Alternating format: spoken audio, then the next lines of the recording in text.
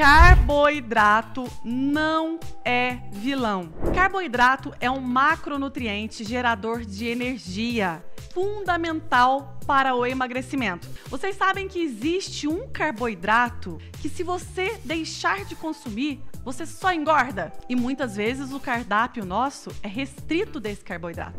São as fibras. As fibras são carboidrato. O carboidrato, ele tem função energética, comunicação celular, função estrutural, mas a principal função do carboidrato é gerar energia. E nós temos grupos de carboidratos. Então nós temos os carboidratos complexos, e os carboidratos simples. O carboidrato complexo, ele é o melhor carboidrato. Ele é o carboidrato íntegro. Ele é como ele veio da natureza. Ele tem na sua composição água, fibra, vitaminas, minerais, e ele é fonte de energia. Ele tem um índice glicêmico diferente.